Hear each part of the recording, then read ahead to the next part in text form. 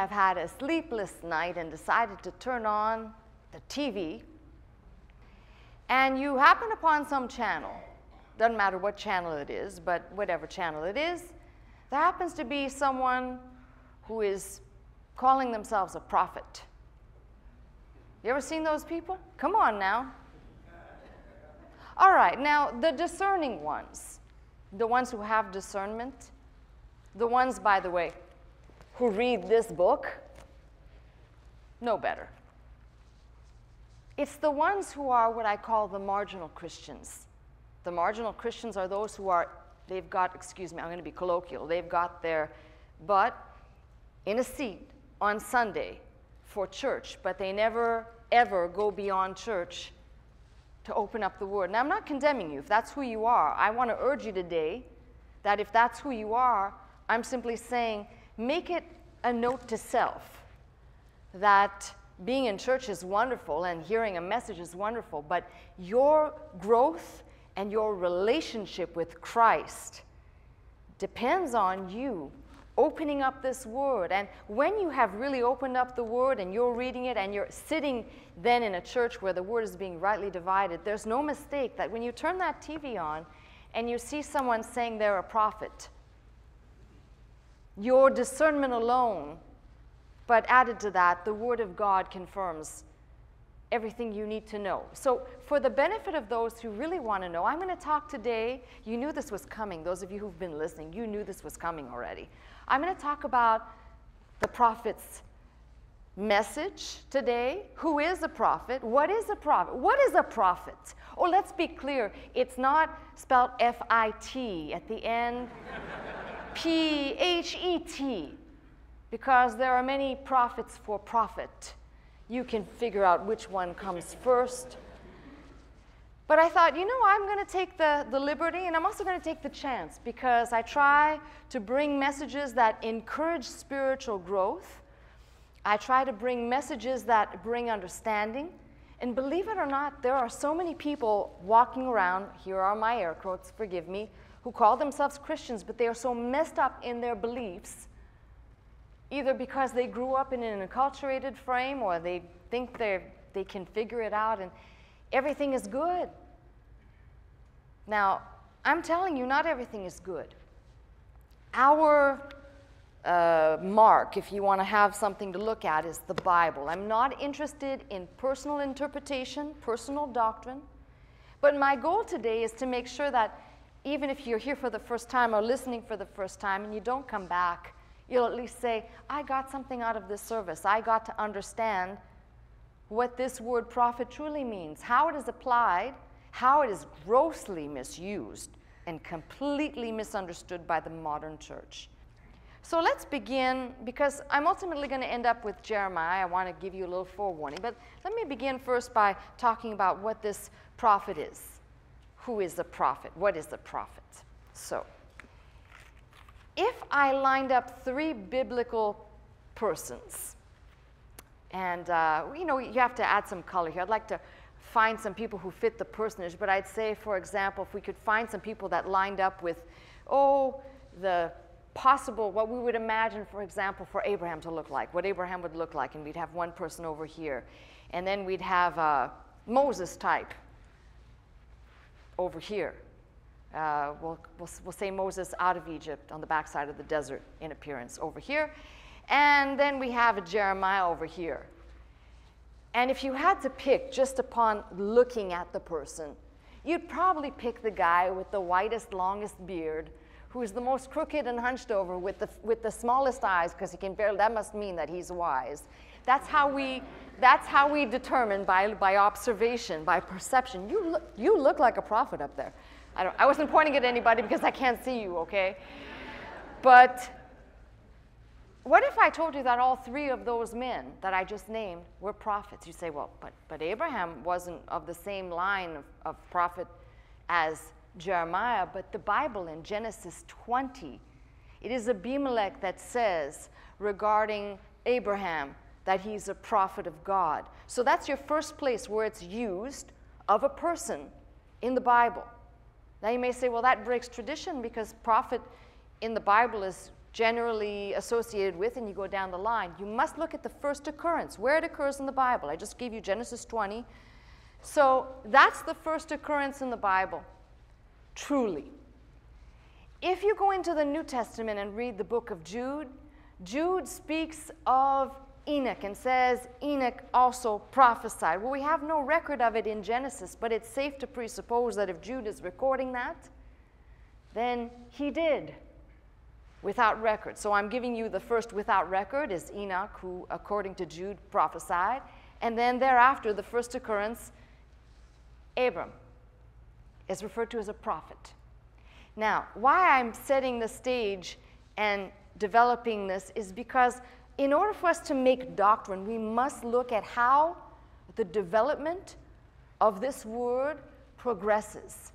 First of all, in its first use, in its first true use, the word, the Hebrew word, nabi, is used of a pot that is boiling over. And erroneously, by the way, people assume that that means that a prophet is just spilling over with everything. If you think of it this way, prophet of God is much like, if you remember, Dr. Scott explained how we could explain Jehovah, Yahweh, as the hose being pinched up, ready to be released. Do you remember that example he used? Make that application that that is what it is. It is God's word having been placed in the heart of man, usually through the mouth of God to the man in his, in his ears, or in a dream, or in a vision. But it's the same concept as God wanting to release his word, and that does not mean prediction. At some point, I'll explain as I go down this pathway at a later time, there were other Hebrew words added. This word wasn't unique. Other words that came to be, like seer, which is often mistranslated in the King James. And another one, another Hebrew word is to gaze upon. So there were three words that sometimes were used interchangeably, but I would like to make this point that if you looked at the life of Abraham, you'd say, but he never bubbled forth with any predictions of something. Well, that's where you're wrong. God gave him a word and told him he would have a son. He would have a son of promise, that he would be father of many when he was father of none. God gave him a revelation, spoke to him directly, changed his name, and everywhere he went, ridiculous as it was, he was father of many, but he was father of nobody at the time. So we must understand how this word comes to pass, how it evolves. So, in Exodus, we have Moses being called up to the burning bush, and God says, Come here, Moses, calls him by name, and gives him a commission. And Moses says, I can't speak. I'm slow of speech. I'm slow of tongue. I'm not eloquent. Bah. Of course, he didn't say that latter part. That was a Scottism. But I'm sure he must have been thinking it, though. And God says, finally, in his, you know, okay, I've had enough of you. Really? You're going to give me excuses? I'm calling, you're going to give me excuses? Okay, Aaron's going to be the mouthpiece of this dynamic duo. You, he will be the prophet, and you will be unto him like God. You will give him the direction, he will go speak. So, right there in those two lines, you can see very clearly, coming from God's mouth, that God is explaining what the concept of a prophet is. A prophet never has an independent word that he just merely thinks up that's on his heart. It's always something that comes from God. And please keep in mind, there was no Bible, there was no written word. So when we speak of prophecy, we need to be very careful to not confuse Edgar Cayce foretelling a foreteller, and the prophecy that is of God. You see out of God's mouth how he says, You will tell Aaron. So you are to him like God, and he will be the prophet that goes. He's the mouthpiece. Effectively, that only lasts for so long because eventually Moses does become the prophet. He must go up, and he alone may talk and receive the messages from God and deliver them to the people. They were not independent messages. Now, if you keep moving through the scriptures, you find something very radical is about to happen.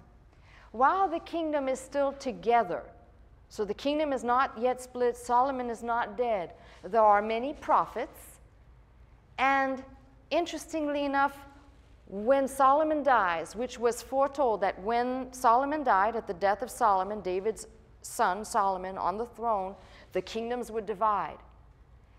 At the death of Solomon, you'll notice that prophecy and prophets take on a new dimension that they did not have before. That being said, let me jump back a little bit. In between the likes of Abraham and Moses, in between the likes of that and the divided kingdom, right there you have Samuel. And Samuel, believe it or not, it sounds kind of nutty. He actually starts a school. I know it sounds crazy, but it's in the Bible. He starts a school for prophets. But contrary to what one would think, it's not like sign up here to learn how to prophesy and, you know, you'll be able to prophesy. School of prophets, you have to remember that in that day, there was still no abundant written record available to all. So, how did people communicate? One teacher repeating, sometimes it was in song. That's how, that's how young Jewish children to this day are taught. To this day, in song, they repeat their prayers in song so that they can sing the song and they learn the song, and then that becomes the prayer. That then, after a while, they drop the song and they recite the prayer when they're old enough and they've remembered it enough. So, in this school of prophecy or prophets, it wasn't like sign up to learn how to predict and foretell. It was a teacher who was giving out the Word of God and repeating the Word of God and the will for the, pe- for, for the people, for God's people at that time out of God's Word. So when Peter in the New Testament, 2 Peter says, no prophecy of Scripture is of private interpretation. Take that to the bank. I have heard enough of people saying, well, what this prophecy really means, and they go down some really crazy paths. The worst one, by the way, I'm sure you know. This is the worst one. It's the one that taps on the most base of society, whom much and many of the body of Christ are a part of. It's called greed those that come prophesying your riches. My point is, that's why if you read 2 Peter, he says, what is their point? There'll be many false teachers now. He doesn't say false prophets, he says false teachers. And for what? To make merchandise out of you, to profit from you. So I have no sympathy. I get letters all the time, and people will find me wherever I am out in public saying, Well, why don't you why don't you tell this person? Well, I don't have to. See, if they were really reading their Bible, gosh, you're going to hate this condescending tone that I'm using right now, but if they were really, really reading their Bible, they'd read what I read about false prophets. You know how many times I've heard people say, The Lord spoke to me concerning you. I had a, I had, I've had many prophecies over me, by the way, Prof. I've had many of them. and there's nothing worse than somebody who says they come in the name of the Lord, they haven't read the Bible. Uh, the test of a true prophet, by the way, is if what he says comes to pass. That's, that's the metal test right there. Okay, I had some, and he is, he's a lunatic who has a ministry prophesy over me and say very, very, very mean, very unkind things about me. Obviously, hasn't read this part of the Bible. Deuteronomy 18 says very clearly, Deuteronomy 18:20, but the prophet which shall presume to speak a word in my name which I have not commanded him to speak, or that shall speak in the name of other gods, even that prophet shall die. Oh, bring it on, God.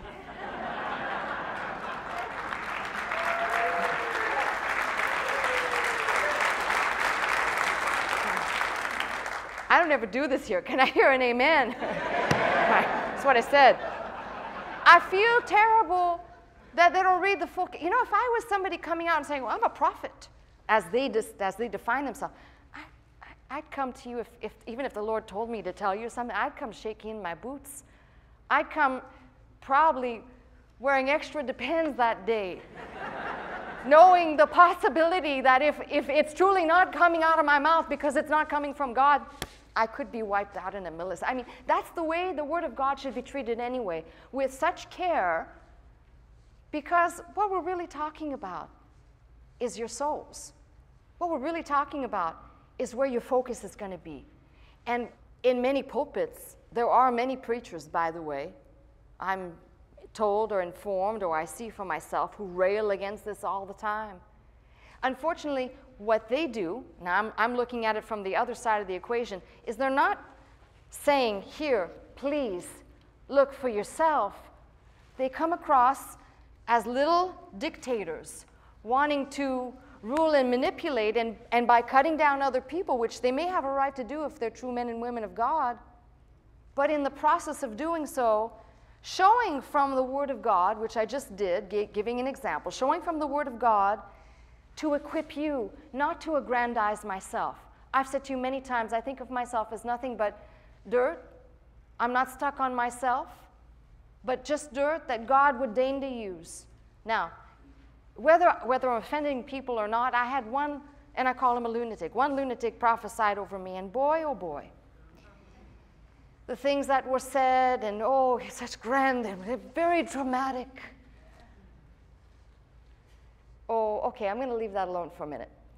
So, after a while, I started to, and I said this to you many times, after a while, I, I took up the, the banner. Listen, I have good connections with God. If you have a message, tell Him to tell me because I'm pretty connected. You know, I don't need it from you. Now, is it possible? No, but, but wait a minute. Is it possible in this day and age that we might have a real concept of prophets and prophecy, completely misconstrued, and if rightly understood, possibly exists? That's what I want to I want to tug at for a minute. So, as I'm marching through the Bible, I begin to see a pattern. And I take all of the prophets, all of the prophets after the kingdoms divide, and take a look at what they're saying. No prophet ever stood at any given time. You can mark my words, you can record them, you can say, I want to quote this back to you. No prophet ever stood on a platform or in a prison or anywhere else speaking for God that he did not call the people to repentance. He did not call the people to their wrongs and to point them to, if you do not repent, judgment is imminent. It is there like a hammer, it will fall. Now, when I come into modern times, this is where I get completely aggravated because the ones that come, that say they come in the name of the Lord, they're not calling men and women back to repentance. They're not even preaching what repentance is. In fact, if they do, by any means, they're preaching a corrupted version of what repentance means. We get our English word repentance, and unfortunately, from the Latin, which has a lot to do with the mea culpas and the, the, the uh, beating oneself down, but in the Greek, that Jesus spoke to the people, repent. John the Baptist, speaking of Jesus, repent, the kingdom of heaven's at hand. And Jesus himself, he said, metanoia. That is, change, turn your mind. Turn from your way of thinking to my way. And that can only be done when you make an about face towards God. Now, if there be a person on the face of the planet calling themselves a prophet, and having a platform, the first thing I would call you to say, that's the, that's, that's the first message. That's really of God. And they don't, by the way, you don't need a Bible for that. We all need to be called back to that every day, not just once a year when we think, oh, here comes Easter, we better repent now because we see that cross and we know what it means. Every day. That's not to make you feel bad, that's to make you know we serve a very gracious God who lets us come daily, knowing our shortfallings. And we're allowed to come every day and say, Lord, like Matthew 6 in that beautiful prayer we're taught to pray, to ask for forgiveness, not just of our brethren, but ask of our Heavenly Father first and foremost. So when you put that all together, you start to see a picture is shaping up. Back to the prophet. I actually have a message. So I'm, I'm showing you these are the dimensions of prophecy. When you get into the New Testament, I want you to see that God has not changed his way. Think of what I just said regarding the Old Testament prophets that it is indeed as though God used man as a conduit or a vessel to communicate his message. Go right to the end of the Bible, to the book of Revelation, where John is exiled on the Isle of Patmos. The Lord Jesus appears to him. He falls on his face as if he was dead because he's, he just can't look. He gives a brief description. And then Jesus says, John, what I'm about to tell you, what you see, write it down. There is the last prophet and last prophecy. Now, why I say that? Of the foretelling of the plan for mankind was given in the book of Revelation. The book of Hebrews says and opens with God in divers times and sundry ways. He spoke to the fathers by the prophets. He hath in this day, in these last days, spoken to us by his Son, Jesus Christ. So, there begins the debate. If that's the last prophecy concerning the world and the, the end times, then what about the words in Corinthians where it talks about people prophesying? Should they have their heads covered or no?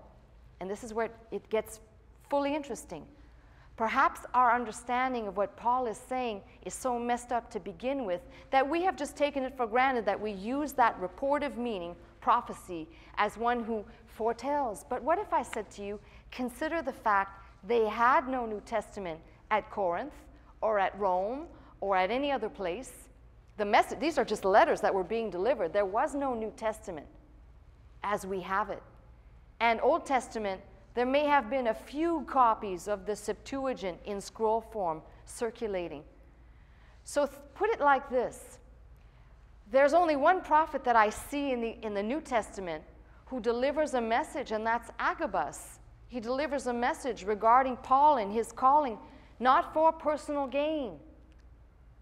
So, when you look at the, the prophecy concept in the New Testament, it is not divination, it's not fortune telling. Now, are there people who have the gift, as Corinthians, 1 Corinthians 12 speaks of those gifts, and some have them? Yes. But I want you to think of it this way How can a man, how can a man or a woman claim that they're a prophet of God when they don't even know the Word of God? Because if they knew the Word of God, I just read Deuteronomy to you. Don't say that you're saying or speaking in the name of the Lord if you're not. Don't come and speak lies because God's word says death is upon you. You're dead. Oh, this is, this is serious stuff for me. I want you to know this is really serious stuff. This has been under my skin for so long that I find it is such an abuse on people. And the ones that come saying, Well, I have a word or I have a message, it's always for, per- you notice they always come speaking good words to you.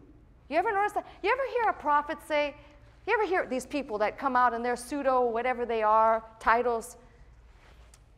You know, I think you're going to get a blister on your foot today, and it's going to hurt like hell. And you over there in the back of the room, you ate too much iron. You're going to have trouble going to the bathroom. Do you ever hear them say that? Their messages are always the same. It's always peace, smooth, it's all going to be okay. Now, you may say to me, Gosh, this is not the message that's going to build the church. No, let me tell you something. Jeremiah, who I got great strength from through this week, it was like I sat there and scales fell off my eyes. In order for reformation to truly come to the church, there must be proclamation, and the proclamation must be the gospel message. Nothing else. Nothing else. That's all.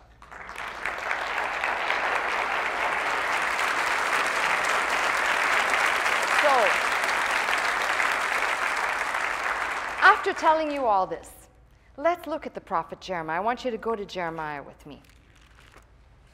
Jeremiah, who uh, means Jehovah laid the foundation or Jehovah has appointed.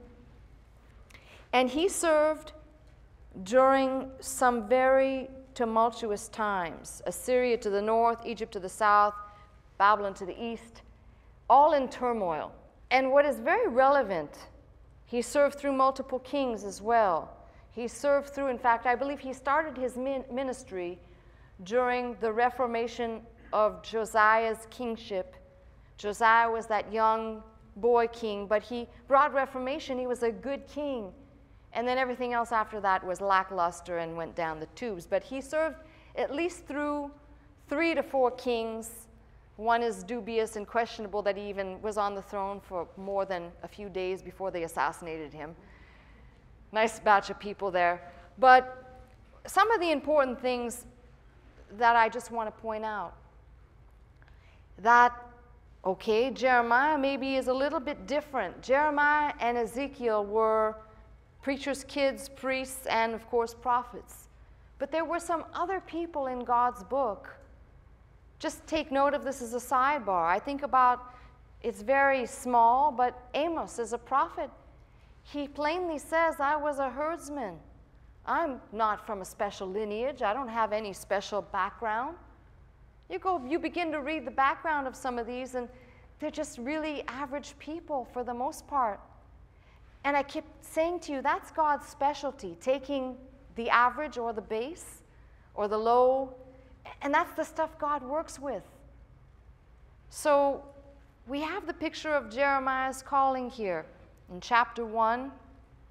The words of Jeremiah, the son of Hilkiah, of the priests that were in Anathoth in the land of Benjamin, to whom the word of the Lord came in the days of Josiah, the son of Amon, king of Judah, in the 13th year of his reign.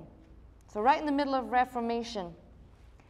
It came also in the days of Jeho- Jehoiakim, the son of Josiah, king of Judah, even unto the eleventh year of Zedekiah.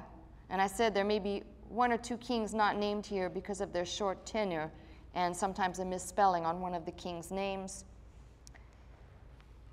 And it says, Unto the carrying away of Jerusalem captive in the fifth month.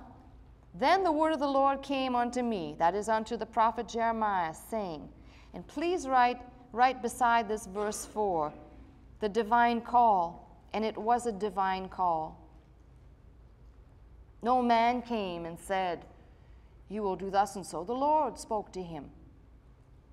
The Lord spoke to him and said, Before I formed thee in the belly, I knew thee. I underlined all the these in here because God's being very specific. Before I, before I formed you, before I formed thee in the belly, I knew thee. And before thou camest forth out of the womb. I sanctified thee. I ordained thee a prophet unto the nations. You know, people say, I, I'm a prophet. Okay, to whom? Because God always is sending his prophets somewhere. To whom? Even the reluctant ones like Jonah. Go and preach in Nineveh. He was deemed a prophet, by the way. There's always a destination, there's always a recipient for the message. It's not ambiguous. Well, just keep crushing some of those balloons down. I am. Now, if you think this is strange language of being where God is speaking Jeremiah, saying, Before I formed thee in, in the belly, I knew thee. Same language, pretty much. If you just make a note, you can check it later. Same language in Isaiah 49 5 is being used that now saith the Lord that formed me in the womb to be his servant. Same language, by the way, that the Apostle Paul will use in Galatians 1.15. Same idea when it pleased God who separated me from my mother's womb and so forth. So it's safe to say that all these, but specifically here, chosen, gosh, the missing message of the church. I'm sorry, there's a thousand messages in here. I'm trying not to kill one, and probably I'm killing about a thousand. God chooses you, not the other way around. Here's Jeremiah I cannot speak, for I am a child. So, Jeremiah has two objections the, the lack of eloquence and the lack of experience. This is what I find miraculous. The Lord said, Say not, I'm a child, for thou shalt go to all that I shall send thee. And whatever I command thee, thou shalt speak. Now, this is interesting because what God reveals is not that Jeremiah was being humble. I'm sorry, you may say that. He revealed his lack of faith and trust in God, whom the Lord calls, he does enable. That's why, by the way, when Jesus said, the Great Commission, go ye into all, and people want to talk about how the Lord's commission is to go into all the worlds, but that could not be carried out Had they not gone to that upper room on the day of Pentecost, whom the Lord calls, go into all the nations he enables, you wait there, you tarry there until you're endued with power. That's what that means. That's why when I say to you, whom the Lord calls, he enables, if you say you're called, if you tell me you're called, I don't want you to start doubting whether you are or not. Don't do that on me. Oh, well, am I called or not? No. You say Christ is your Lord and Savior. You're called to his kingdom. You're called to serve him. Then don't say, well, how, what am I going to do? He'll enable you. Each person has different gifts. He'll enable you with those gifts. Sometimes He gives you gifts you didn't even know you had, or maybe you didn't have, and He gives them to you. And then you can say, Wow, God did that for me. Okay. Don't say I'm a child. You're going to go wherever I tell you to go, and you're going to go speak to whomever I tell you to speak. Is this not the same repetition like Moses? Moses, I'm slow of speech, slow tongue. I want you to think about this because this is rather staggering. Moses was trained as a prince in Egypt. He wasn't slow of speech. He was trained in eloquence. Now, not as much as perhaps the Greek orators and the Greek scholars, but he was a prince trained, trained in Egyptian ways, which means it was quite refined. No, not that you can't speak, you don't trust God.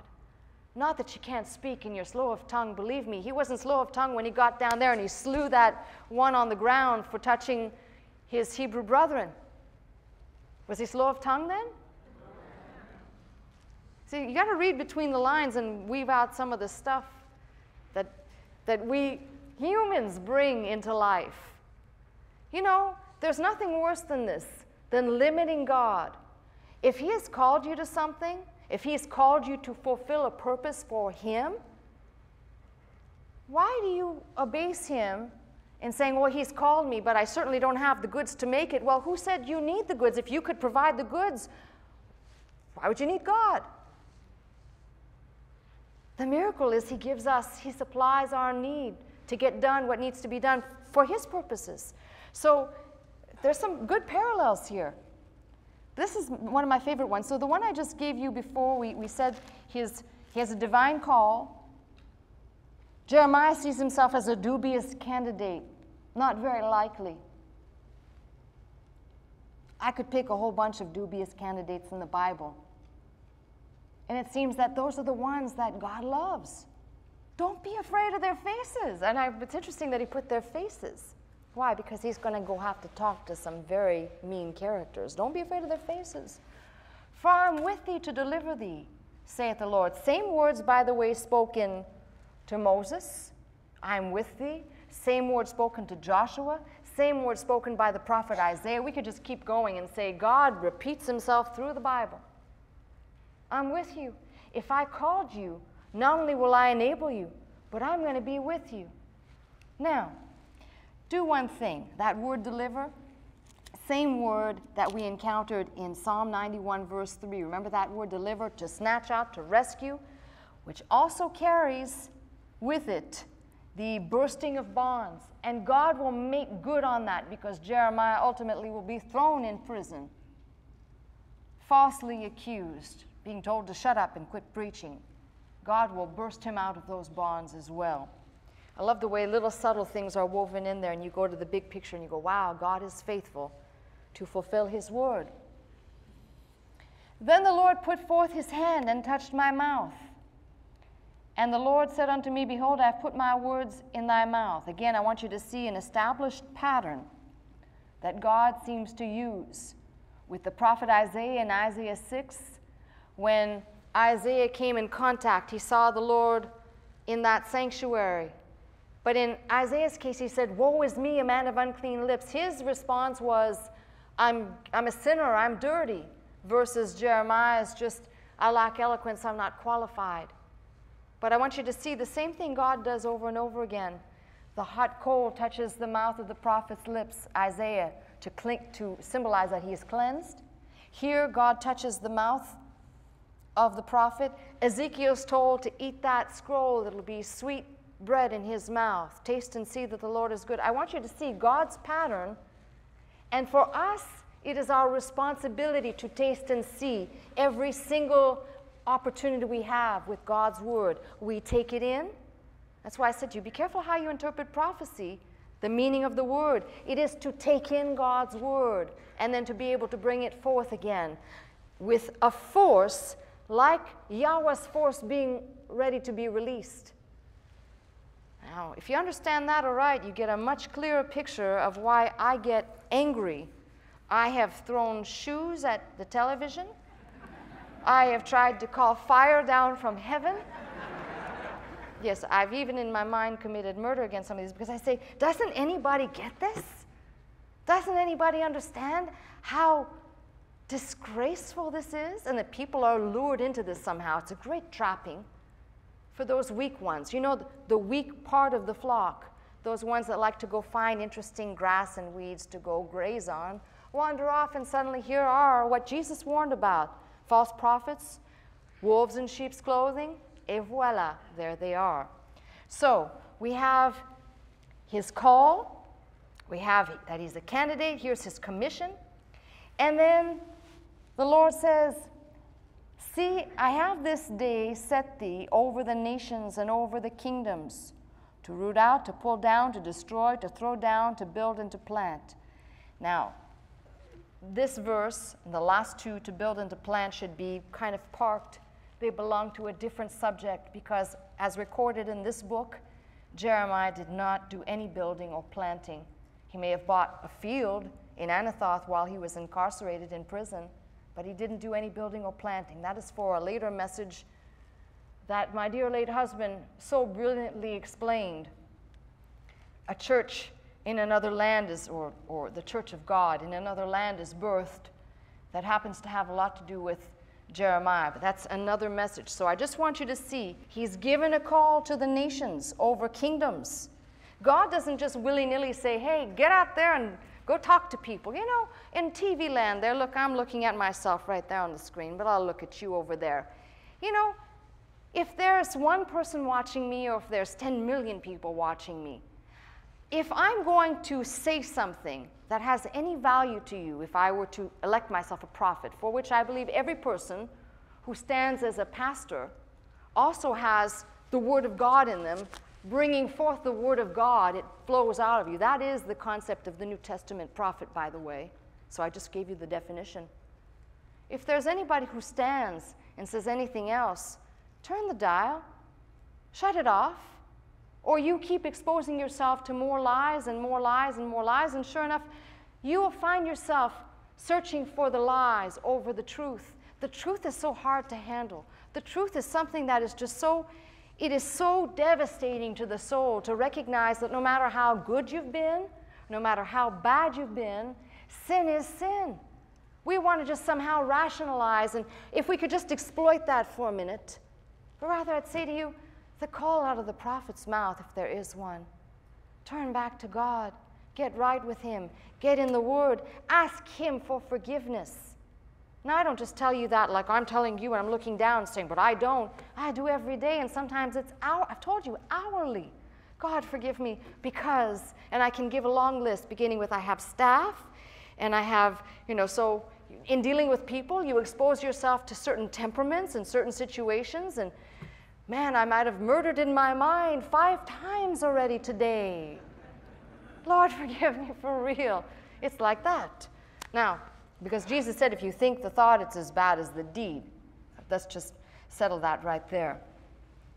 So I'd like you to note right here that he gave him a destination over the nations and over the kingdoms to root out, to pull down, to destroy, to throw down.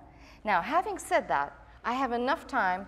I want to read you the comparison between a real prophet of God and the fake one. We're going to read two different places. Let's begin with chapter 27.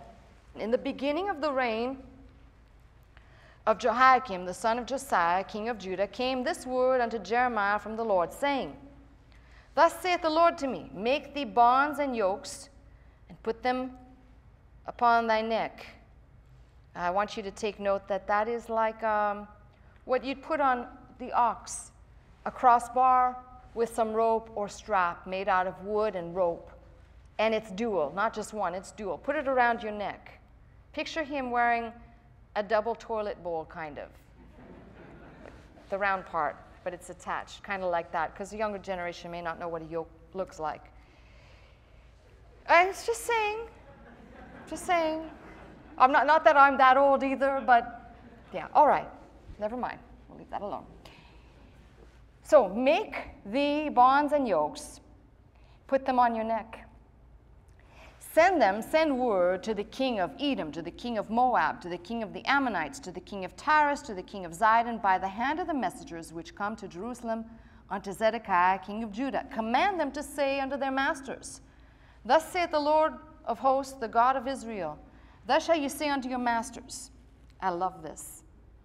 I have made the earth, the man and the beast that are upon the ground, my great power, and by my outstretched arm, and have given it unto whom it seemed meet unto me. That is, by the way, God's foreign policy. Okay? He gave it to whom he wanted to. Love it. And now I have given all these lands into the hand of Nebuchadnezzar, king of Babylon, my servant. I want you to notice that. Nebuchadnezzar is seen as evil, but God's calling him his servant to carry out and do his bidding for him. And the beasts of the field have I given to, to him also to serve him. And all the nations shall serve him, and his son and his son's sons, until the very time of his land come. And then many nations and great kings shall serve themselves of him. It shall come to pass that the nation and kingdom which will not serve the same Nebuchadnezzar, the king of Babylon, and that will not put their neck under the yoke of the king of Babylon, that nation will I punish, saith the Lord, with the sword, with famine, with pestilence, until I have consumed them by his hand. God is not saying, Oh, brethren, would you please kindly? He says, If you don't obey what I'm telling you to do, I'm going to blot you off the map. That was first book of Scott right there. Therefore, hearken not ye to your prophets, nor to your diviners, nor to your dreamers, nor to your enchanters, nor to your sorcerers, which speak unto you, saying, Ye shall not serve the king of Babylon. It's the direct contradiction of what the prophet is telling. No, you're going to serve. For they prophesy a lie unto you, to remove you far from your land, that, you that I should drive you out, you should perish. Now, here's what is being told to the prophet You put this yoke on your neck. You send messengers telling all of these kings, I made the land, I'm giving it the land and the beast to King Nebuchadnezzar to do basically to do my bidding to carry out my purpose. Don't listen to the prophets. Don't listen to all these people. They're telling you lies, saying you won't serve the king of Babylon. I, God, am speaking, saying you are going to serve the king of Babylon because I said so. And if you don't, you're going to be blotted out. For they prophesy a lie unto you. Now, verse 11 But the nations that bring their neck under the yoke of the king of Babylon and serve him, those I will let remain still in their own land, saith the Lord. They shall till it. I want you to see they're not going to have any animals to use. They will have to, in other words, this is going to be a hard, long trip. They'll dwell therein. So this yoke represents a light burden juxtaposed with if they don't obey and they don't take that yoke, something else is going to come upon them. I spake also to Zedekiah, king of Judah, according to all these words. And by the way, he is referred to as the puppet king. He wasn't really a ruler, he was just flim flam. He was all over the place. And he paid for his flim flam, middle of the road, he paid for it dearly with his eyes. Bring your necks under the yoke of the king of Babylon, serve him and his people and live. Now, jump down to verse 14. Therefore, hearken not unto the words of the prophets that speak unto you, saying, We shall not serve the king of Babylon. They prophesy a lie to you. You think I'm bad. Jeremiah will keep going on this subject over and over again. For God's telling the prophet to tell them, For I have not sent them. Yet they prophesy a lie in my name. They're, they're coming and say, I come in the name of the Lord. Da, da, da, da, da. And the Lord said, da, da, da. That's why I said, I'm warning you. I'm warning you, some of you, and I said, some of you who just, you just wander off, and that sounds so plausible. Somebody says, I come in the name of the Lord. They did it in Jeremiah's day. It's still going on today. God says, I haven't sent them. He also spake to the priests and all the people, saying, Thus saith the Lord, hearken not to the, words of your prophets that prophesy unto you, saying, Behold, the vessels of the Lord's house shall now shortly be brought back again from Babylon. Don't listen to them because they were carried away, not all of them, but most of the vessels that were in that uh, house of the Lord were carried away. Now the prophets are saying, Oh, don't worry.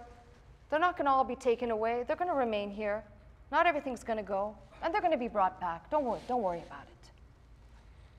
If those items were brought back, perhaps worship could resume and the priests and the prophets would be back in business. Don't worry about it. I got your back. Meanwhile, they, they, no, they don't got your back at all. Hearken not unto them.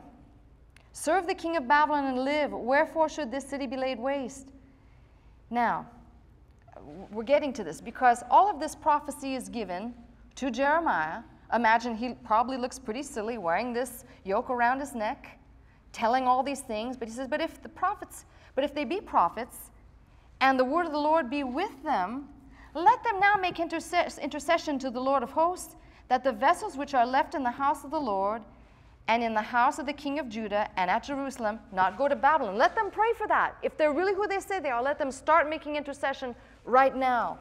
For thus saith the Lord of hosts concerning the pillars, concerning the sea, concerning the bases, those are all the things, all the articles that remained, the vessels that remained, which Nebuchadnezzar, king of Babylon, took not when he carried away captive Jeconiah, the son of Jehoiakim, king of Judah, from Jerusalem to Babylon, and all the nobles of Judah and Jerusalem. this is going to be good. Yea, thus saith the Lord of hosts, God of Israel, concerning the vessels that remain in the house, in the house of the Lord, and the house of the king of Judah and Jerusalem.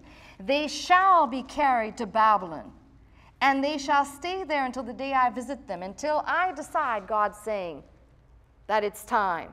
Now, this is God speaking to the prophet, delivering a message. Here comes Mr. Hananiah. He's the prophet, too, you know. Next chapter.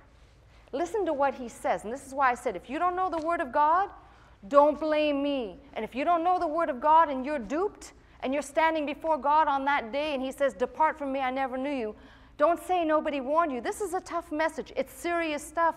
But the example's right here. Anything that contradicts God's Word, blatantly contradicts it, go the other way. Here we have Hananiah, the same year, in the fifth month, Hananiah, the son of Azur, the prophet, which was of Gibeon. And you should know no good can come out of Gibeon. Those Gibeonites were the ones who lied to Joshua back there in Joshua 9. Gibeonite. Next time you see somebody you don't like, call him a Gibeonite. Just a Gibeonite. That sounds good too. Hananiah, the son of Azur, prophet, which was of Gibeon, spake unto me. Listen to where he is in the house of the Lord, in the presence of the priests and all the people. So the whole congregation is gathered now. Everybody's gathered. This is just a few months after the Lord spoke to Jeremiah and gave him that decisive word, this guy comes and he says, Thus speaketh the Lord of hosts, the God of Israel, saying, I have broken the yoke of the king of Babylon. Now you can imagine the people sitting there, all listening, priests and the people listening, going, like, hope. I've broken the yoke. I could almost hear maybe even some clapping, some hallelujah, right? Hmm. Within two full years, I will bring again to this place all the vessels of the Lord of the Lord's house that Nebuchadnezzar, king of Babylon, took away from this place and carried them to Babylon. I'll bring again to this place Jeconiah, the son of Jehoiakim, king of Judah, with all the captives. I will break the yoke of the king of Babylon. He's saying he received this message of God. This is what the Lord said he was going to do, which, by the way, contradicts, first contradiction of what God told Jeremiah, the prophet. First contradiction. Then the prophet Jeremiah said unto the prophet Hananiah, in the presence of the priests, and the presence of all the people that stood in the house of the Lord, even the prophet Jeremiah said, Amen. The Lord do so. One of these days I'm going to preach a message on Amen. But until then, he's saying, So be it. So be it. Make it happen. The Lord perform thy words which thou hast prophesied to bring again the vessels of the Lord's house and all that is carried away captive from Babylon to this place. Nevertheless, hear thou now this word that I speak in thine ears and the ears of the people. The prophets that have been before me and before thee of old prophesied against many countries and against great kingdoms of war and of evil, of pestilence. The prophet which prophesieth of peace, when the word of the prophet shall come to pass, then shall the prophet be known that he's truly sent of God.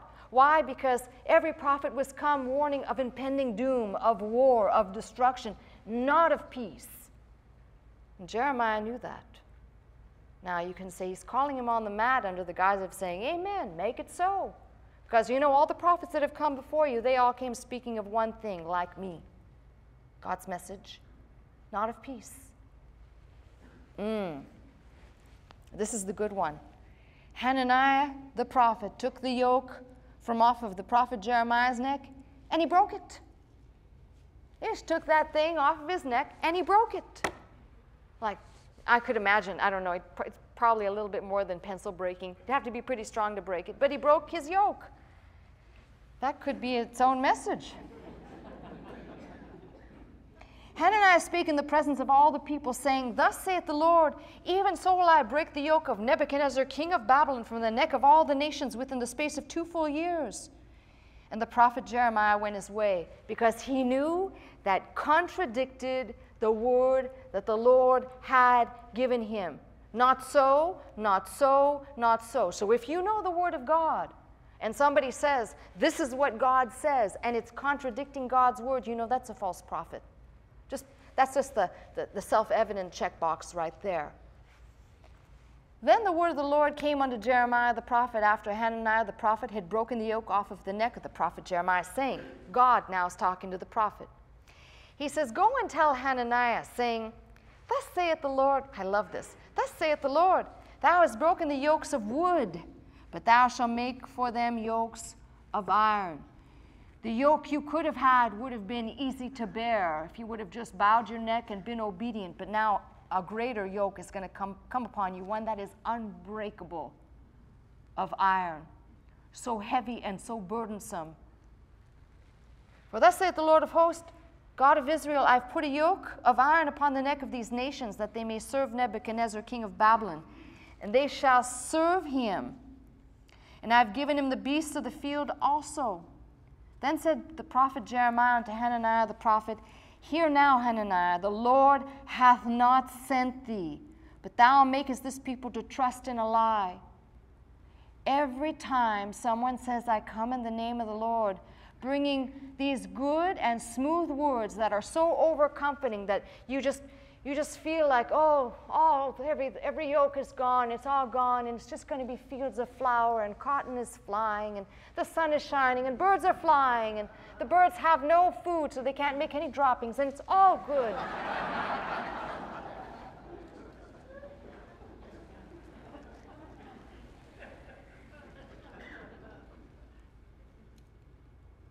Therefore, thus saith the Lord Behold, I will cast thee from off the face of the earth this year thou shalt die because thou hast taught rebellion against the Lord. And he did, he misled the people. So Hananiah the prophet died the same year in the seventh month. Let me just say this because this sums up the, the totality of the message, which is juxtaposing these two men gives us the example. I gave you the background for the, at least a basic understanding of the word prophet and what a prophet does speaking for God, not independently, not with some personal little uh, tidbit to prosper you so that you might have prosperity in your life, which is the famous uh, trend nowadays. But look at these two men. One received from God, and it was a harsh word, and he must have looked like a fool coming in and announcing with that thing around his neck, looked like a double toilet bowl with some rope around it, saying, And thus saith the Lord to the nations. He must have looked like an idiot. Illustrate, by the way, that's an illustrated sermon right there. He was wearing it. When people say, is that legitimate? Yeah, he was wearing it. In fact, Jesus did an illustrated sermon too when he took the child and said, Consider this child. I'm just against the nutty things people do. But this one is pretty good. He was wearing that thing, demonstrating to these who will come under God's word and listen to what the prophet's saying. The yoke won't be that heavy to those who refuse to listen the yoke's going to be heavy and unbearable and unbreakable. Now, the one it seems self evident Hananiah is not the only one to be a false prophet in this book. There's another man by the name of Shemaiah. There's another Ahab. There's another Zedekiah, too. There's a handful of them that he will condemn and he'll catch them right in the midst because their whole prophecy over and over again is peace, peace. God said peace, but God did not say peace. He said destruction. He promised and gave a word to Jeremiah that 70 years would be the time that the people would be carried away into captivity. So, what God's word does for me right here is it shows me the straight stick and the crooked stick. And it gives me the option, once I know the truth, to say, I love that straight stick. That's God's word. I will cleave to that word. I will make sure that I know it so I'm not misled. Versus this crooked one here. Well, it's still a stick, but it's crooked. Not saying what God's word says, not declaring. And gosh, I sure wish that God would just take that word out of Deuteronomy. He did it here. But for those people who are today preaching lies and misleading people, I can only tell you as a spiritual leader and the leader of this church, and as a person who cares deeply and profoundly for the handling of the Word of God, pay attention to what's going on. Don't say, oh, but what, what about this guy over here? Isn't he okay? And what about this guy? Listen to what they're saying. If you choose to expose yourself to that, listen to what's being said. If it comes under the Word of God and it aligns with the Word of God, then listen. And if it doesn't, if it's even slightly blurred, listen to the blur- blurring of Hananiah. Two years slightly blurred. He's saying something similar, sounds like. Isn't that what Satan's best mastery is? Similar sounding to get you and I to follow down the wrong path. So, as I begin this journey, and it's just a foundational message, I'm looking for uncommon men and women who are looking to learn about God and follow me as I follow Christ. And once having seen the light or the straight stick, that's your direction. You're not being swayed with every wind of doctrine, with every new idea. Oh, that sounds great over there. Jesus Christ, the same yesterday, today, and forever. I pray this helps clarify and illuminate for some. For others, it reaffirms. And for some, it may be the day you say, I don't care to listen to Pastor Scott anymore because I like this guy over here. Maybe it's a little bit like this, but I like this. Well, then go listen. And when you fall in the ditch, and you will fall in the ditch, don't say you weren't warned. That's the prophet side of me saying, you still have time to make your turn back to God and get right with Him. And it starts today with the word I just delivered. That's my message. You've been watching me, Pastor Melissa Scott, live from Glendale, California at Faith Center. If you would like to attend the service with us Sunday morning at 11 a.m., simply call 1 800 338 3030 to receive your pass. If you'd like more teaching and you'd like to go straight to our website, the address is www.pastormelissascott.com.